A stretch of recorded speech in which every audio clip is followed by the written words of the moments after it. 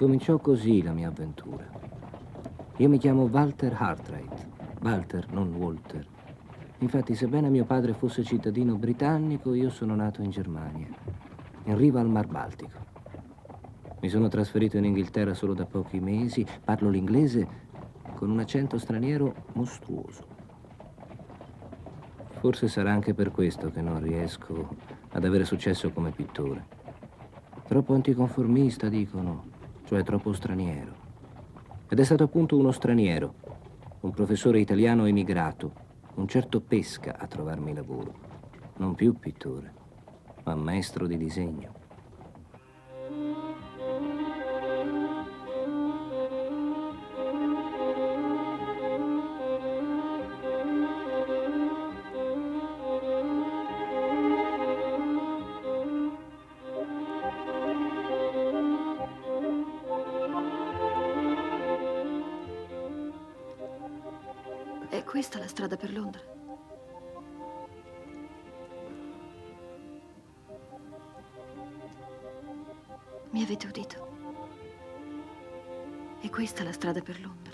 Sì, questa strada porta a Regent Park. Scusate se non vi ho risposto subito, ma la vostra apparizione mi ha colpito. E confesso che ancora non riesco a spiegarmela. siete buono. State pensando male di me. Sono felice di avervi incontrato. No, non penso male di voi, sono soltanto stupito. La strada era deserta un momento fa e sembrate comparsa dal cielo. Ho avuto paura. Non c'è motivo. E voi? Dove andavate? Ho trovato un'occupazione in campagna, a Limerick House.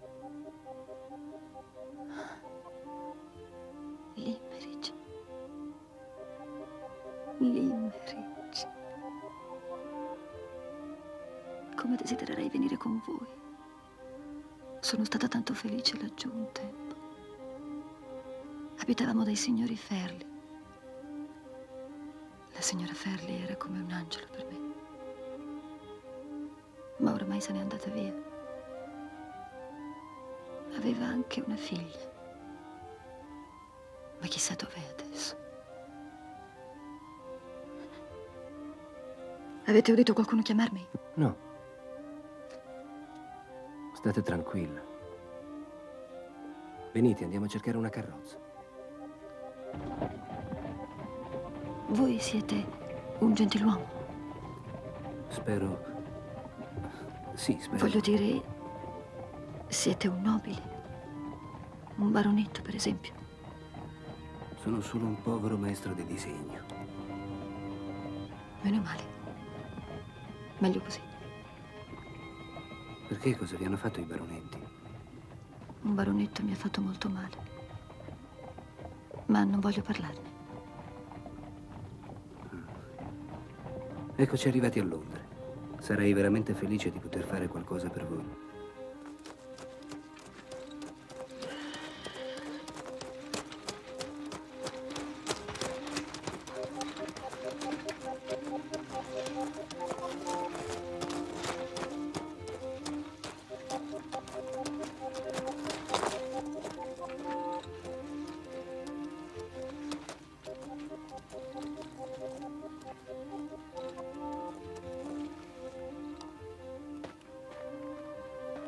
Siete proprio sicura di voler proseguire da sola? Sì. C'è qualcuno da cui posso andare. Ma veramente voi? Vi prego. Ora ci lasceremo. Dovete promettermi che non mi seguirete e non mi cercherete. Va bene, d'accordo. Questo soltanto vi chiedo. Vi prego. Me lo promettete? Promesso.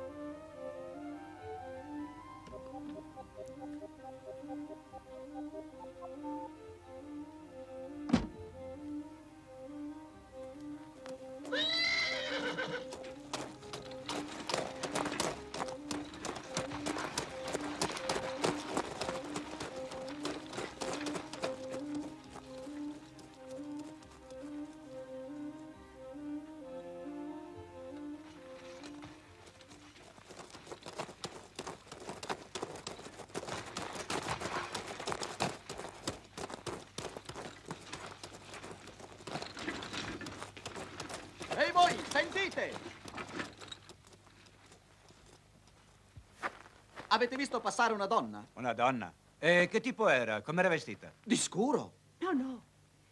Il vestito che le abbiamo dato noi lo ha lasciato sul letto. Si è messa addosso quello che aveva quando era arrivata. Di bianco. Era vestita di bianco. E aveva Di bianco. Era vestita di bianco. Mi dispiace, non l'ho vista. Ebbene, se la trovate, fermatela. Non lasciatevela sfuggire per nessuna ragione, anzi, fatela scortare a questo indirizzo. Manicomio St. George. Perché? Cosa ha fatto? È scappata dal manicomio. C'è una lauta mancia per chi ce la riporterà. Una donna in bianco. Ricordatevi.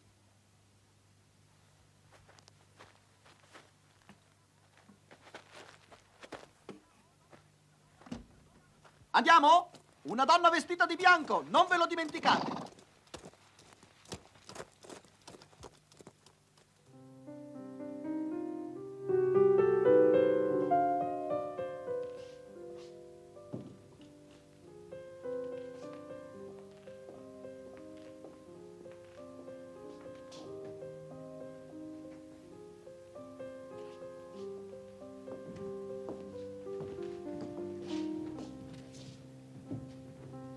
Mi chiamo Walter Hartrade. Sono atteso qui all'Imeridge House. Ho qui con me una lettera per il signor Frederick Ferri. Siete il maestro di disegno. Siete molto in ritardo, ma benvenuto lo stesso. Accomodatevi. Di solito i maestri sono vecchi, con barba e occhiali. Diciamo così, brutti. L'importante è che sappiano disegnare, non crede? Troppo giusto. Perkins precede il maestro.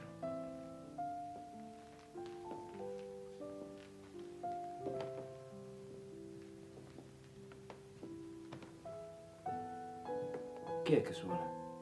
Così. La signorina Laura. Lei suona sempre questa musica, ma ora non può ricevervi. Prima avrete l'onore di parlare col signor Ferri, ma a quest'ora, diciamo così, riposa. Domani gli parlerete. Forse.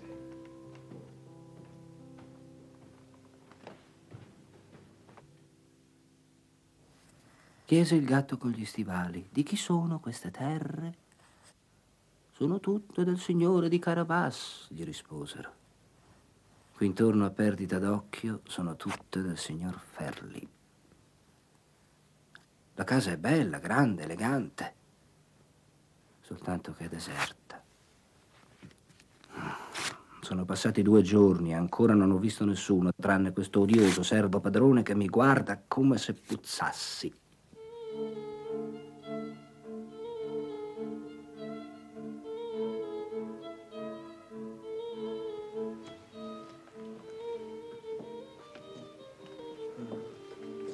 Signor Walter Artrai.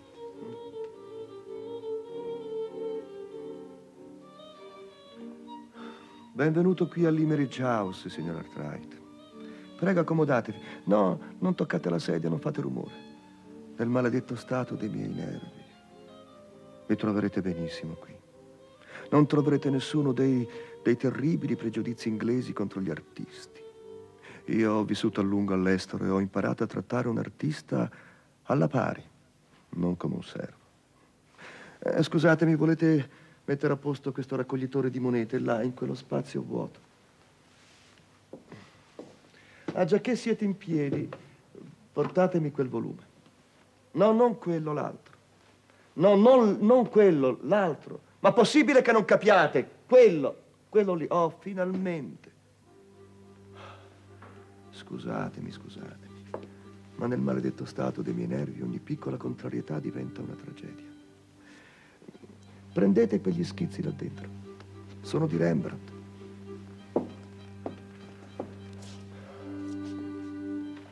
Vi piacciono gli schizzi? Sì? Io li odio. È bello avere gusti in comune. Vi piace la vostra stanza? Sono molto belli e anche in buono stato. Ah, bene, bene. Non vi dispiace se chiudo gli occhi mentre parlate? Anche questo debole chiarore è troppo per i miei occhi. Stavo dicendo che sono molto belli. Scusate, scusate, ma non vi sono degli orribili bambini giù sotto nel mio giardino privato? No? No, io non sento niente. Vi supplico, guardate fuori la finestra.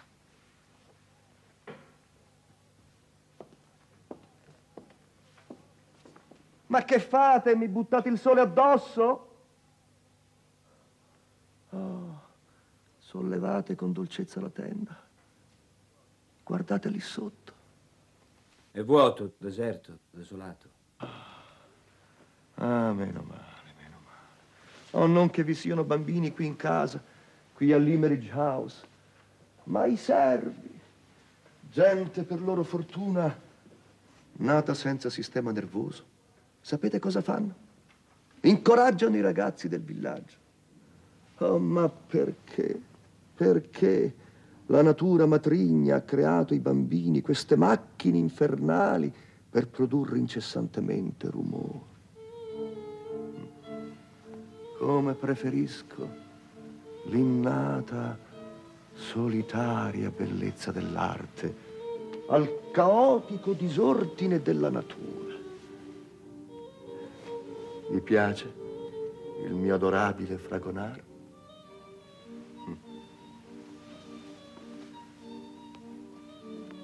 Vi va bene il compenso pattuito?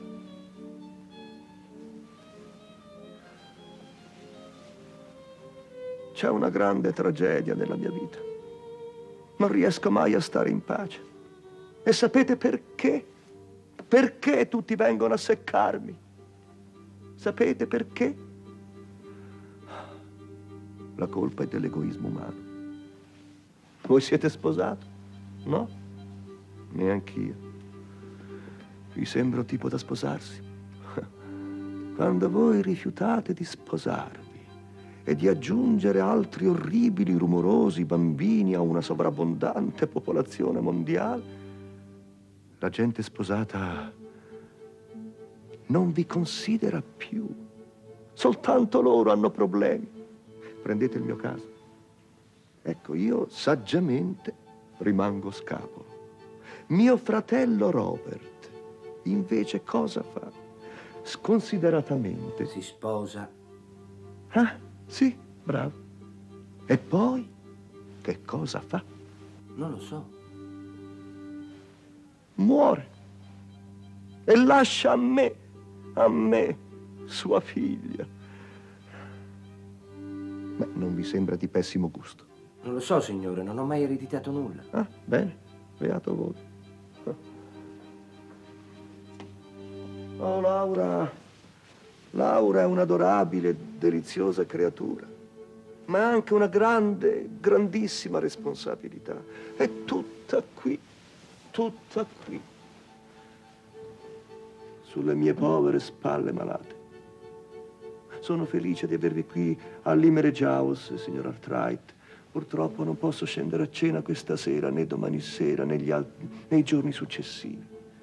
Il mio stato di salute e il mio, il mio maledetto sistema nervoso. No! I miei nervi, i miei vetri, i miei cristalli, romperà tutto! Portate via quella maledetta bestiaccia! Portatela via! È di Laura! Attento a non respirare, micio, perché nel maledetto stato dei miei nervi.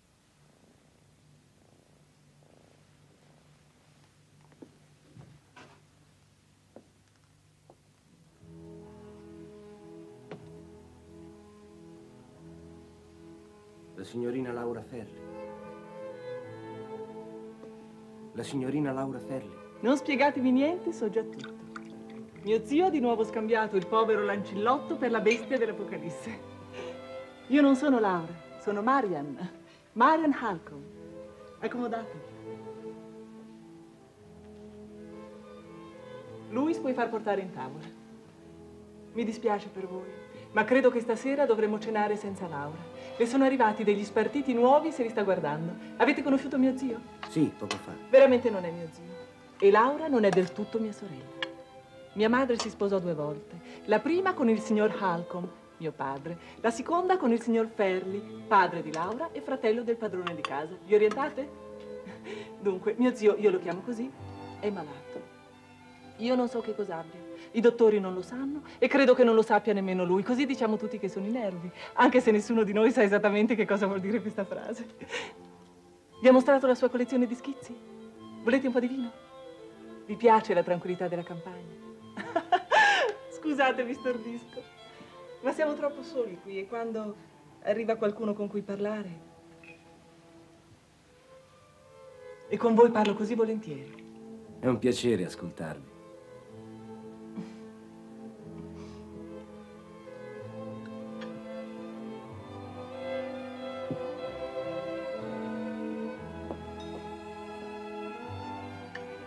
È molto tempo che insegnate disegno? Da quando ero studente. Finora ho cercato di fare il pittore. Ma la pittura rende poco se non si fanno questi caramellosi quadretti che vanno tanto di moda. La mia famiglia è povera.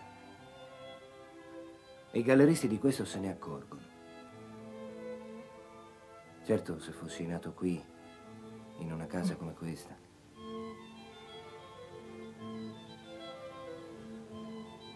Avete mai insegnato a delle donne? Sì? E si innamoravano spesso di voi?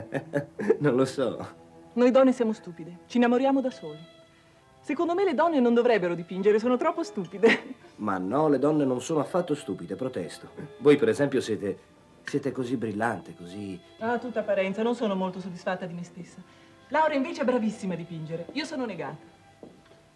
Allora in cosa siete brava? A me piace giocare a biliardo e andare a cavallo. Signora Artright, non pensate che vi annoierete qui a Limerick? Voi siete così giovani, avrete voglia di divertimenti, di avventure. Mm, per un pezzo mi basterà quella che mi è capitata ieri sera di avventure. Lancellotto, dove sei? E cioè? Stavo venendo qui a Limerick quando tutto a un tratto... Buonasera. Laura, mia sorella. Scusatemi se sono così in ritardo. Marian, hai visto il gatto? Il signor Artright l'ha salvato dalle grinfie dello zio. Ho già stordito il nostro ospite di chiacchiere. Gli ho svelato il maggior numero possibile di segreti di famiglia. Ho solo dimenticato di dirgli che tu sei molto più giovane e più bella di me, che tu sei ricca mentre io sono povera, che vivo qui tua ospite e che nonostante tutto questo ci vogliamo veramente molto bene. Desiderate cenare, signorina Laura? No, Luis, grazie. Scusatemi, ci rivediamo fra un poco in sala musica. E sono sicura che con te sarà più loquace.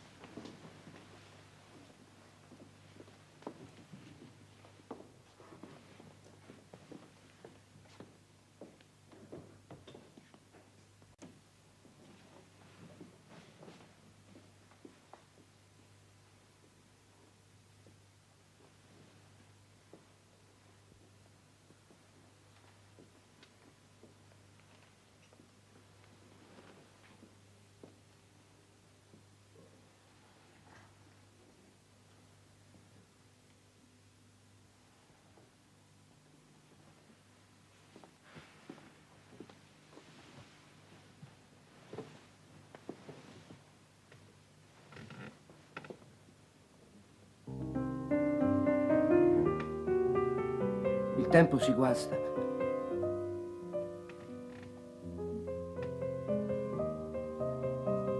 Che bella. La musica? No, voi.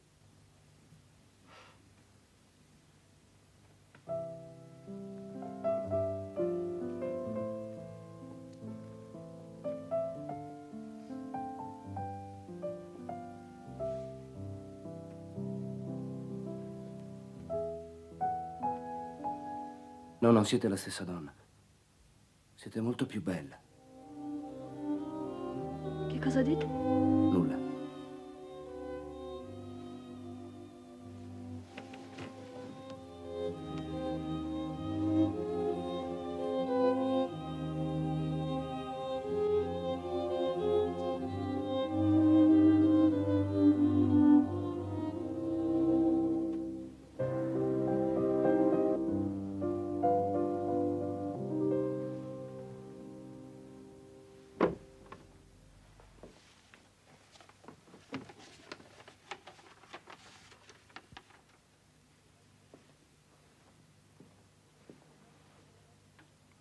Vedo che preferite le donne vestite di bianco.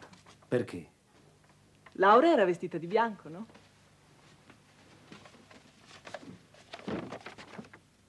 Quando l'avete fatto? Siete molto bravo. Il vestito è un altro. Anche la donna è un'altra. L'ho incontrata mentre venivo a Londra. Mi ha chiesto di accompagnarla, ma non ha voluto dirmi nemmeno il suo nome, né da, da cosa fuggisse, né dove andasse. Era molto spaventata. Parlava di un baronetto che le aveva fatto molto male. Ha detto che conosceva vostra madre, che ha trascorso l'infanzia qui e che è stato l'unico bel periodo della sua vita. Ma non so proprio che di che si tratta. Però posso guardare fra le carte di mia madre, magari ci trovo qualcosa. Ma voi giuratemi di non dire nulla a Laura. È molto impressionabile. D'accordo?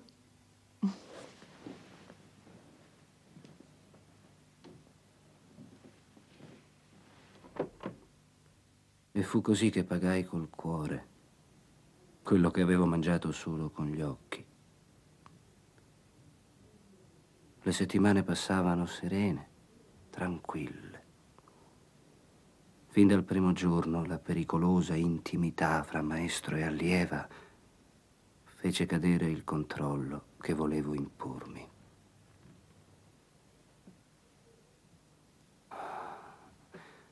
Tutta la mia esperienza del passato con le altre donne si dileguò. Ero tornato a 16 anni. Più tardi pensai che avrei dovuto fuggire questo sentimento, fin dal primo momento. Ma più tardi ancora cambiai nuovamente idea.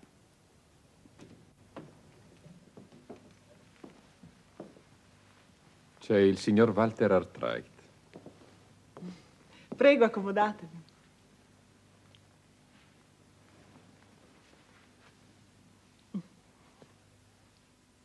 Louis, potete andare.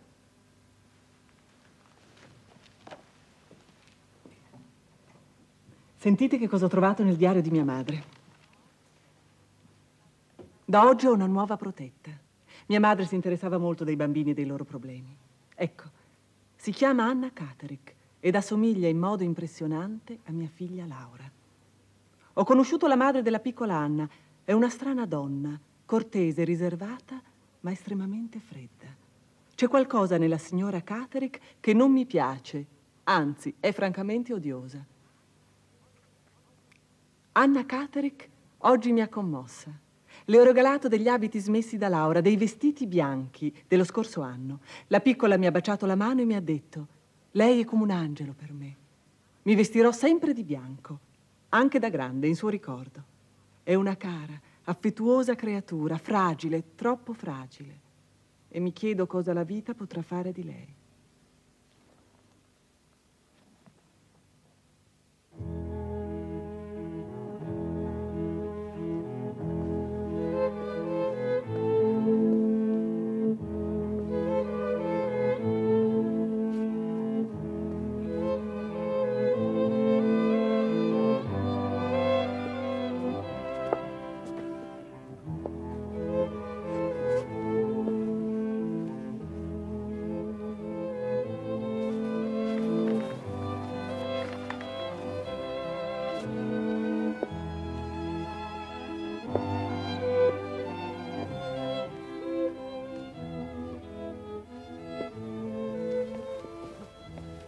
Questo improvviso mutamento d'umore?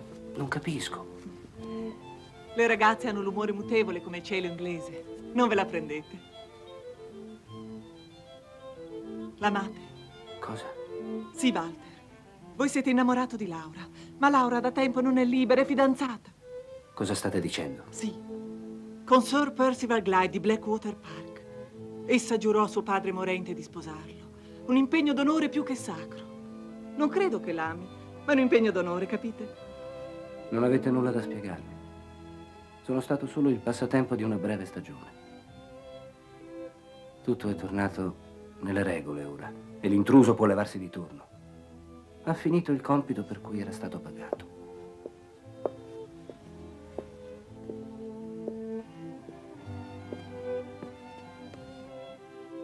Walter, non siate così duro, così amaro.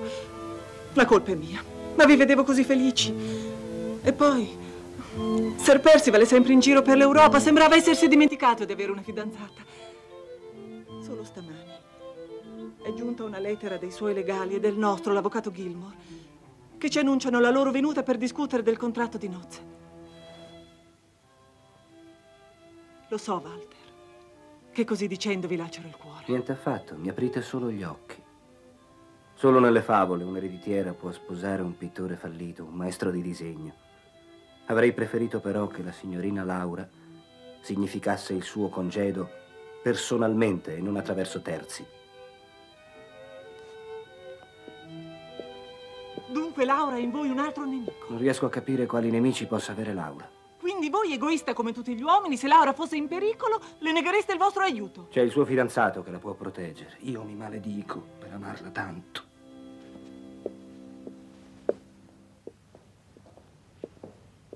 Che cosa ridicola soffrire come un tenore d'opera o il protagonista di un romanzo sentimentale. Ma l'opera o il romanzo somigliano a volte stranamente alla verità. Odiavo Laura e l'amavo come non mai, maledicevo la mia follia. E nulla mi era caro come questa mia follia, nulla.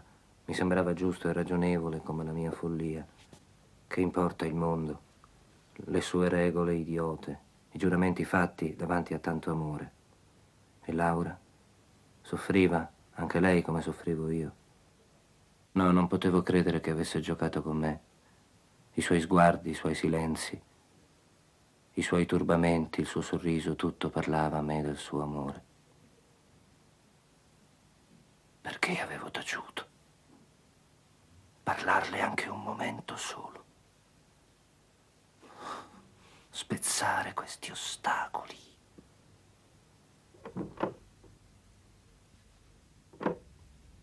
Siete voi, signorina Halcombe? Non signorina Alcon per voi, Walter.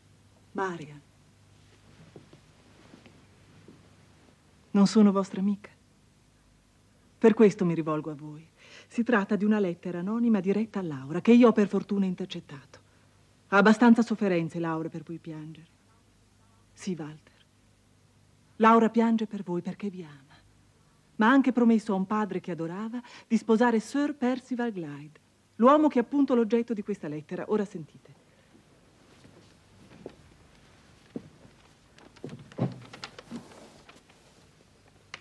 L'uomo che state per sposare, quel baronetto dalla mano deturpata da una cicatrice rossa, non è ciò che sembra. Il suo cuore è nero come la notte e l'angelo caduto a lettere di fuoco vi ha impresso queste parole, senza pietà e senza rimorso. Vostra madre è stata come un angelo per me ed io vorrei esserlo per voi.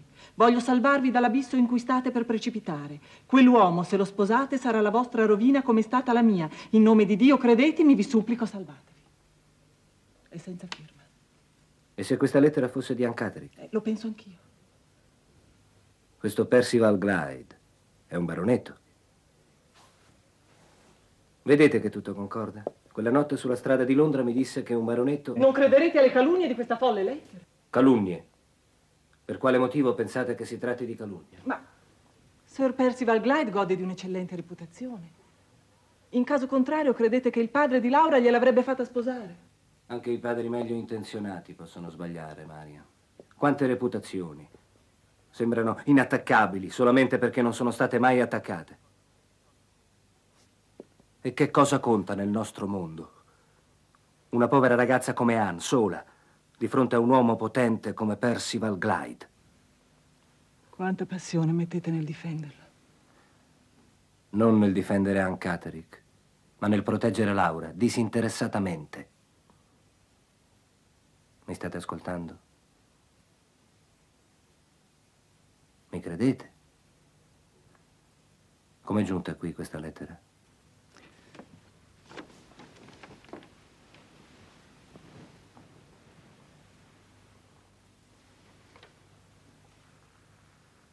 Stata portata a mano da una ragazza del paese. Bisogna interrogarla.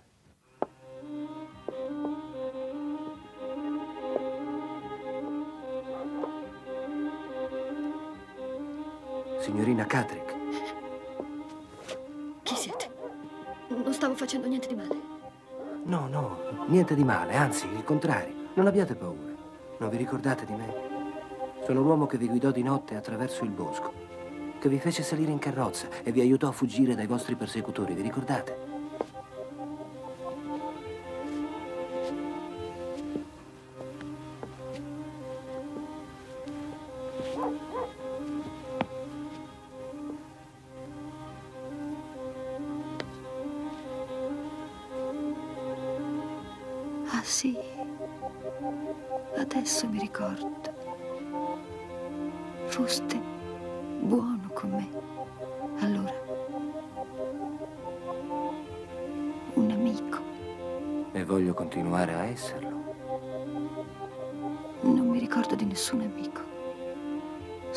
Signora Ferli, che giace in questa tomba.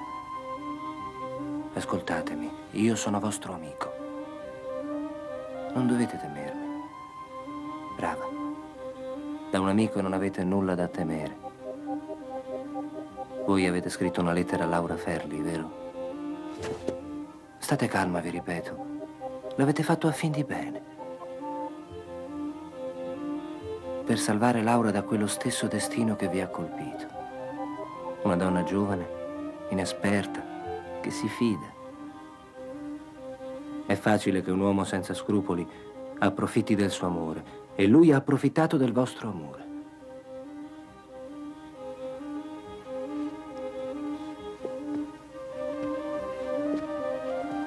Io ho amato soltanto lei. Certamente, ma esistono altre specie d'amore. Un uomo esperto e una fanciulla innocente. Vi ha sedotta, povera bambina. E poi, per poter sposare Laura, vi ha rinchiusa in un manicomio. Quel mostro che sta per giungere a Limmerich. Per sposare Laura Ferli. Sir Percival Glyde. Laura! Ann! Ann Catrick!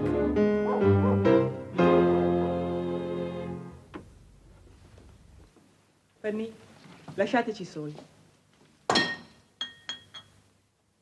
Dopo, dopo.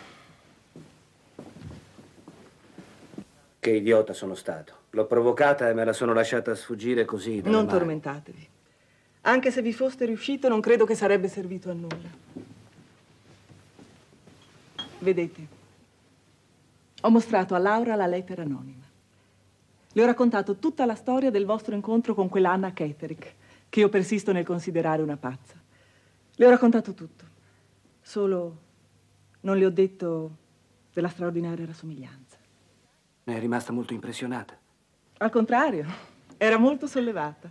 Mi ha detto di mettere tutto nelle mani dell'avvocato Gilmore, il nostro legale di famiglia.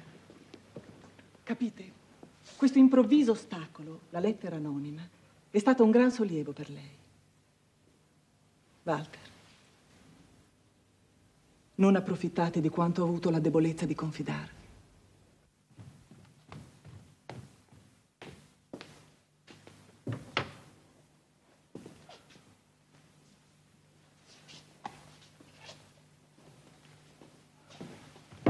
Avvocato Gilmore.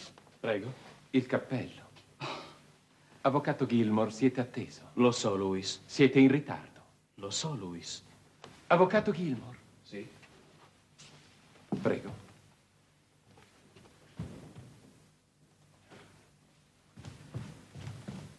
Per il momento non mi occorre, Luis.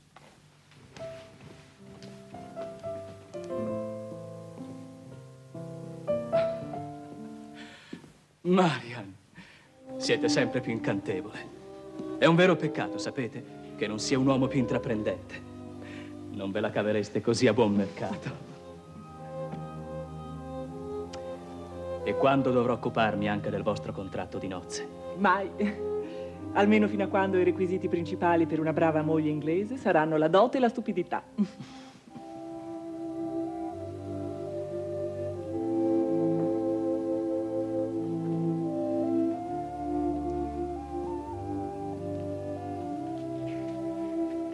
Come siete pallida.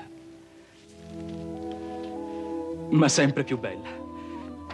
L'emozione della sposa novella, eh? Domani infatti arriva lo sparviero che si godrà questa dolce colomba. Scusatemi, Laura, non volevo dire nulla di sconveniente. Io desidero solo che siate felice. Voi mi capite, ne sono sicuro. Allora, cosa sono queste storie di lettere anonime di cui mi diceva Marian? Il signor Arkwright, pittore e maestro di disegno di Laura. Pittore? Io purtroppo non ne ho mai avuto il tempo. Troppe cose serie da fare per dipingere. E poi occorre essere artisti nati per questo. Tuttavia credo di essere un eccellente caricaturista. Va bene. Vogliamo parlare ora di questa lettera anonima? Il signor Albright non è un estraneo per noi. La sua condotta in tutta questa penosa faccenda è al di sopra di ogni elogio ed è per disinteressata amicizia che si è trovato coinvolto in questa storia. Ecco la lettera nel maledetto stato dei miei nervi. Calmatevi, signore, troveremo insieme le parole adatte. La mia passione per l'arte, scrivete. Unico conforto il mio dolore. Non sarà certamente scossa dal vostro comportamento. Irregolare comportamento? Sì. Irregolare comportamento. nel deplorevole stato della mia salute. Un colloquio con voi potrebbe stancarmi troppo. No, irreparabilmente. Consideratevi libero. Accetto le vostre dimissioni. Sì? Anche se premature. Sì. E deludenti.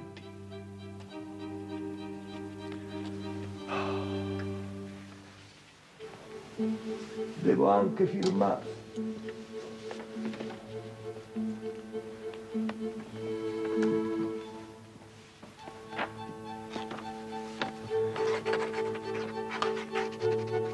La farò consegnare immediatamente al signor Artrai. Grazie, Luis.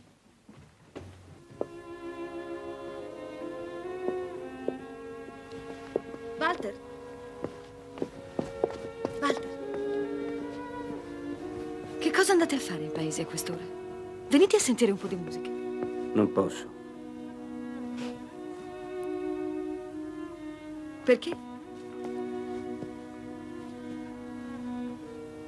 Ma cosa fate? Partite? Sì, ho finalmente ricevuto un contratto come pittore da una grande galleria di Londra. Non ci pensavo più. Devo presentarmi domani mattina. Ho chiesto di farmi ricevere da vostro zio, ma pare che sia troppo malato e che possa parlarmi solo dopodomani. Mi ha mandato le sue scuse dal maggiordomo, assieme a cinque scellini di mancia. Li ho messi qua dentro, con la lettera di dimissioni. Ditegli da parte mia che anche se sono povero, rinuncio al pagamento del lavoro che ho svolto qui. E di ricordarsi che un maestro di disegno è una cosa e un mendicante è un'altra. Addio, signorina Ferli. Vi auguro tanta felicità. Ah, tanti auguri per il vostro aristocratico matrimonio.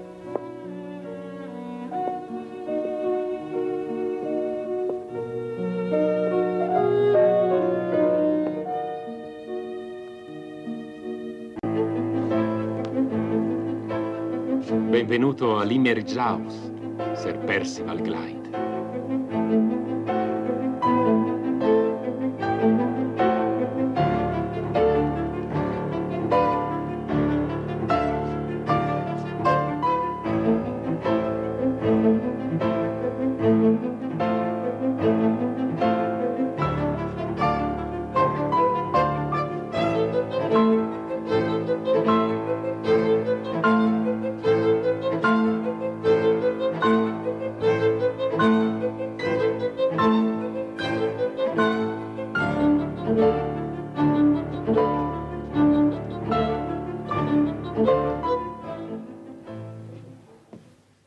Quando ho conosciuto quell'uomo, ho avvertito che fra noi non ci sarà mai alcuna possibilità di dialogo.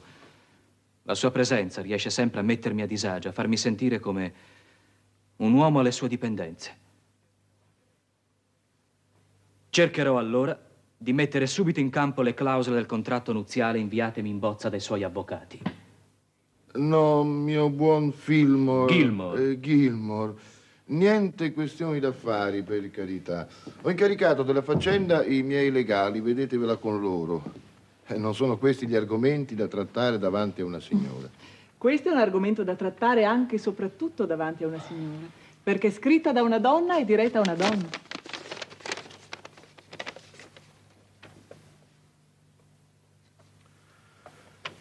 E la mia dolce fidanzata ha dovuto leggere questo orrore.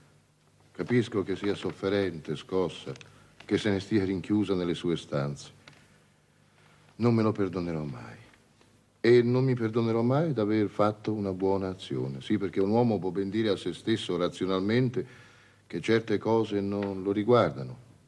Ma quando si ha un cuore, un rango, non si sa né ci si può sottrarre.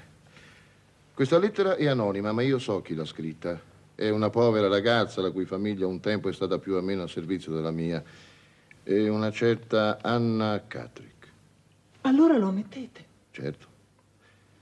Era una ragazza minorata che non riusciva a guadagnarsi la vita da sola. Impietosita, la feci accogliere in un manicomio, accollandomi io stesso le spese.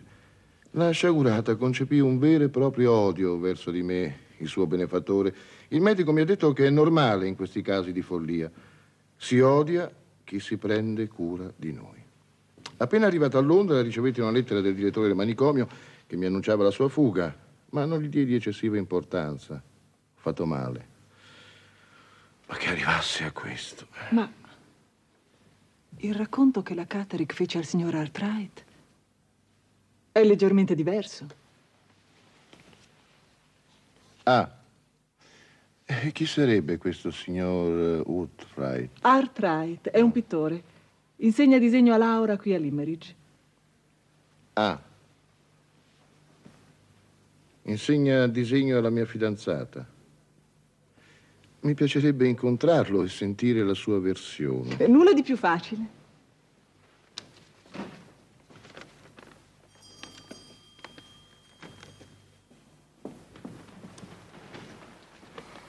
No, Fanny, chiamatemi Louis.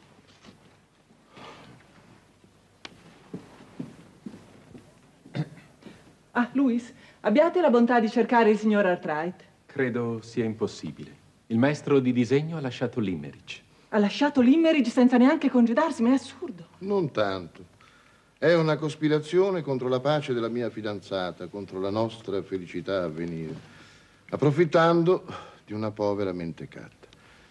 Signori, il test d'accusa è venuto a mancare, quindi l'accusa cade. Ma io farò di più. Vi darò la prova della mia, diciamo così, innocenza. Sarà la madre stessa della ragazza a testimoniare a mio favore. Eh, è mai vista una madre che testimonia contro la propria figlia? Eh. Scrivetele voi stessa, cara signorina Marian. No, fatelo voi.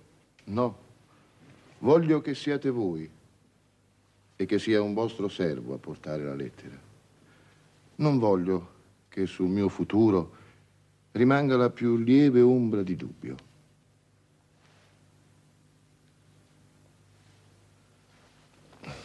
Ecco l'indirizzo. Jane Catrick.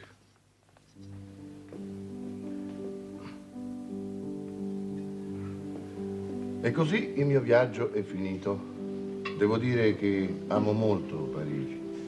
Vi andremo in viaggio di nozze, Laura.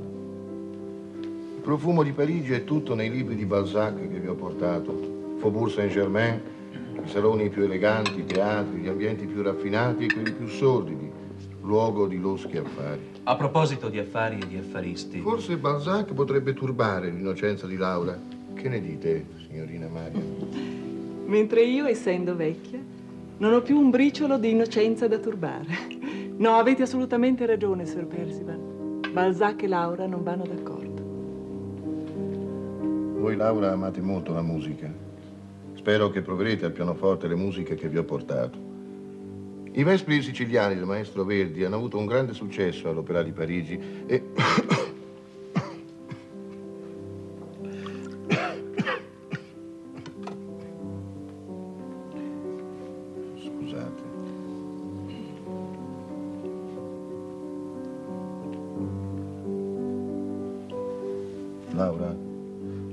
suonerete per noi la musica del balletto di quattro stagioni. Sir Percival, vogliate perdonarmi. Vi sentite poco bene? Siete molto pallida. Andate, andate pure.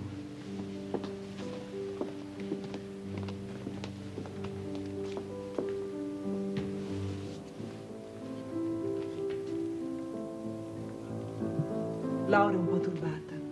Sono turbato anch'io per lei. Anche voi turbato. Vogliamo passare di là, Sir Percival? O preferite rimanere a tavola con l'avvocato Gilmore e raggiungermi dopo? Lasciare la vostra affascinante compagnia per quella di questo leguleio, mai e poi mai.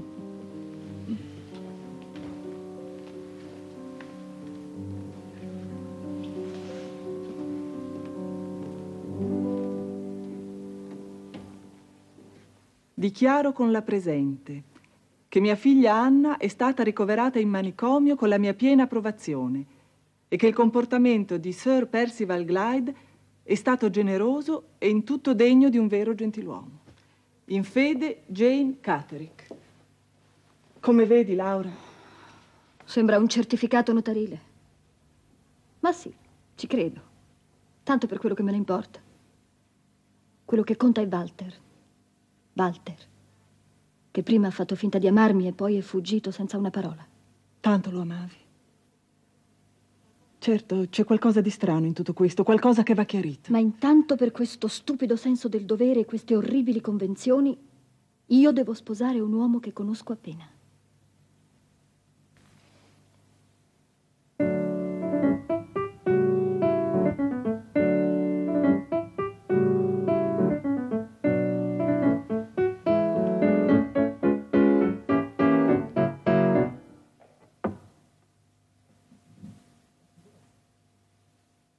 Vi devo parlare, Sir Percival.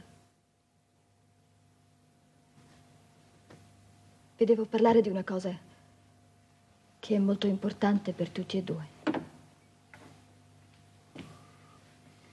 Siete disposto ad ascoltarmi?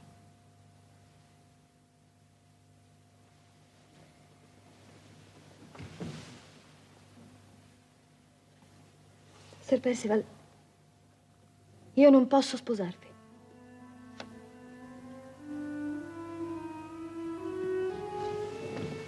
Dimenticato che avete chiesto il permesso di mio padre prima di... prima di farmi l'onore. Prima di chiedermi di sposarvi. E certamente ricorderete quello che io vi dissi il giorno del nostro fidanzamento. Vi dissi che il parere di mio padre fu per me decisivo.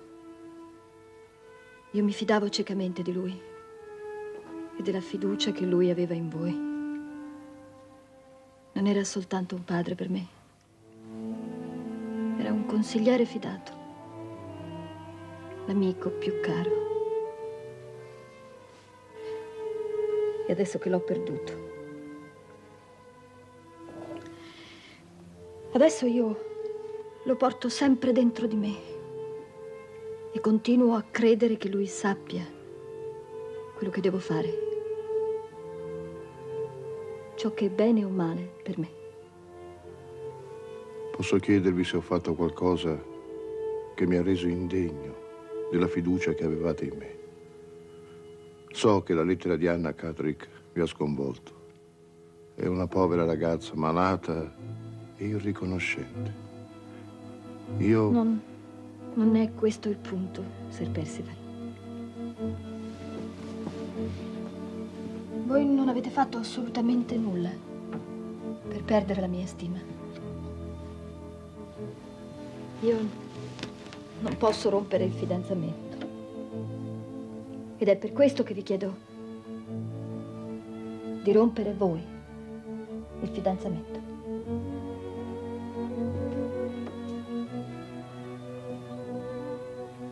Io? Perché? È molto difficile dirvelo. C'è stato un cambiamento in me. Un cambiamento molto serio che vi autorizza a lasciarmi. Che cambiamento?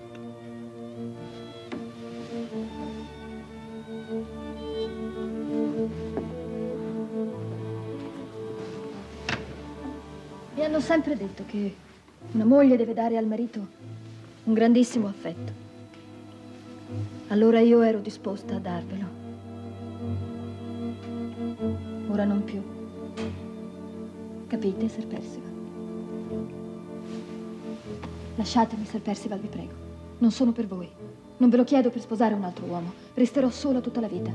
La persona di cui io... Quest'altra persona a cui mi riferisco non sa niente di questo mio sentimento. Non lo sa e non lo saprà mai. E nemmeno lo corrisponde. E inoltre io non lo incontrerò mai più. Ma in questa condizione non me la sento di sposare né voi né nessun altro uomo. Non mi sembra onesto.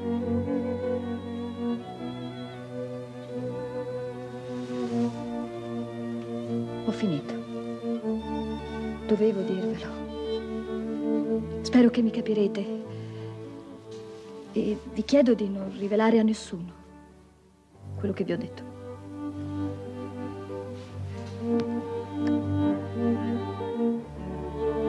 Ora sì, che ho mille ragioni di più per sposarvi.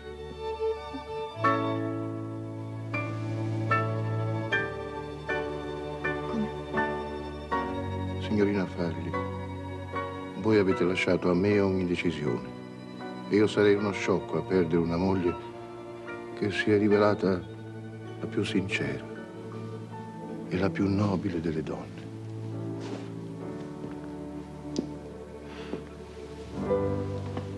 Ma io vi ho appena detto che non vi ha. L'amore verrà. Giuro che saprò farmi amare da voi. Voi siete giovane, molto giovane.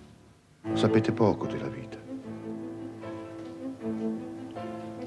Ma io saprò essere per voi non solo il padre e l'amico che vi sono mancati troppo presto, ma anche il marito, la guida, chi saprà scegliere per voi.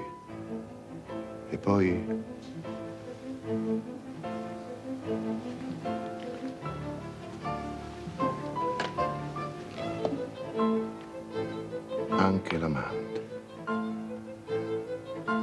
c'è solo il giorno, Laura, c'è la notte e i piaceri segreti che a una ragazza da bene non è dato conoscere, ma che nel santo vincolo del matrimonio io saprò insegnarvi.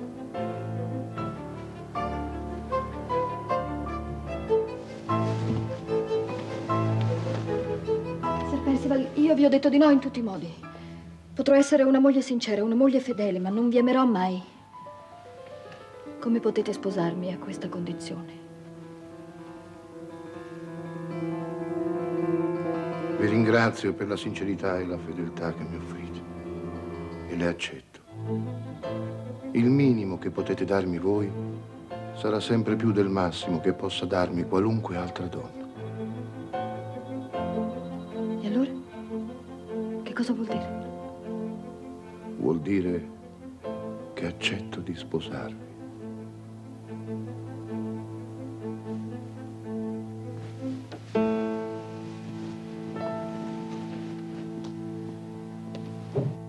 Pertanto la signorina Laura Ferli diverrà unica erede dei possedimenti di Limerick e percepirà una rendita annua di 10.000 sterline. Inoltre, al compimento del suo ventunesimo anno di età, usufruirà di una rendita personale di 20.000 sterline, delle quali potrà disporre a suo piacimento. Non sono d'accordo. Voglio che nel contratto di matrimonio ci sia la clausola che dà a me l'usufrutto delle 20.000 sterline, anche dopo l'eventuale morte della mia futura moglie. Voi non siete d'accordo mai. Il contratto matrimoniale che volete concludere è assurdo. Il signor Ferli è d'accordo. Ferli è sempre d'accordo con il più forte.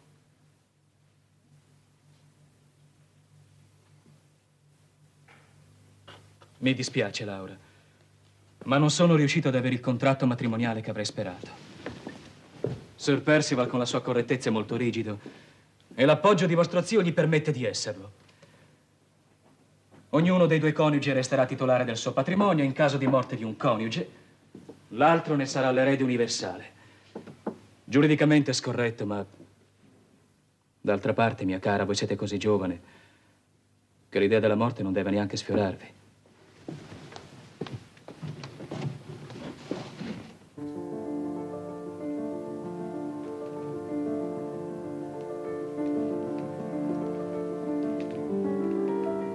Desiderate qualcosa, signorina Maria? Sì, parlare con il signor Ferli. Temo sia impossibile. Sta riposando. Naturalmente. Controllate se non ha per caso una crisi di insonnia. Ho assolutamente bisogno di parlargli.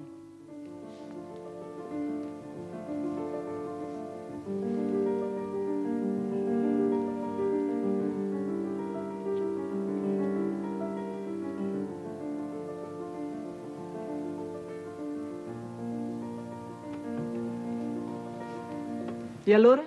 Spiacente, diciamo così. Non può riceverli.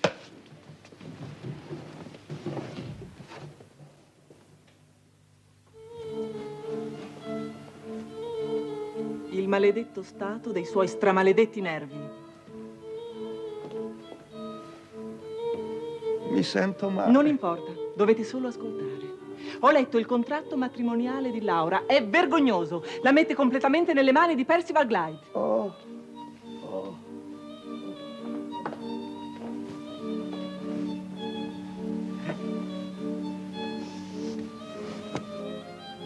È stato fatto tutto per il meglio. Ma vi rendete conto che in caso di morte di Laura, Percival è l'erede universale di tutte le sue ricchezze? È più vecchio lui. Morirà prima. Zio Frederick! Luis, ti avevo ordinato di non far entrare nessuno. Accompagna la cara Marian alla porta.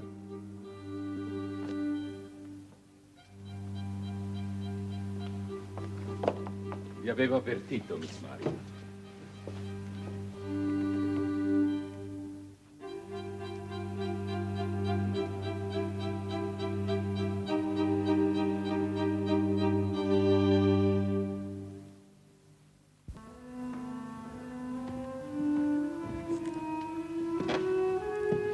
Un'ultima grazia da chiedervi. Ditemi pure. Vorrei portare con me. Il gatto. No. Il gatto preferisco che resti qui. Credo che mi sentirò un po' sola laggiù, nella vostra Blackwater Park. Parlavo di mia sorella Marian. Siamo cresciute insieme. Vi prego, Sir Percival, non ditemi di no. Certo, certo. Va bene.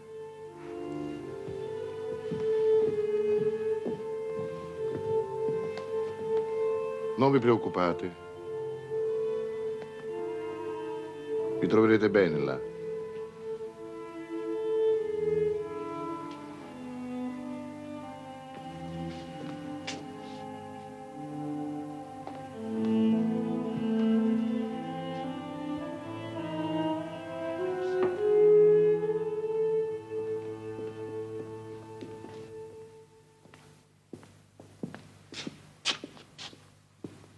Tutto a posto. La cerimonia sarà celebrata a Limerick, nella stessa chiesa in cui foste battezzata, tra due settimane alle 11 del mattino. Per il viaggio di nozze andremo in Italia sei mesi, vi piacerà. E al ritorno ci stabiliremo nella nostra residenza di campagna, Blackwater Park. C'è un bel giardino, vi piacerà. Anche il contratto matrimoniale vi piacerà, ne sono certo.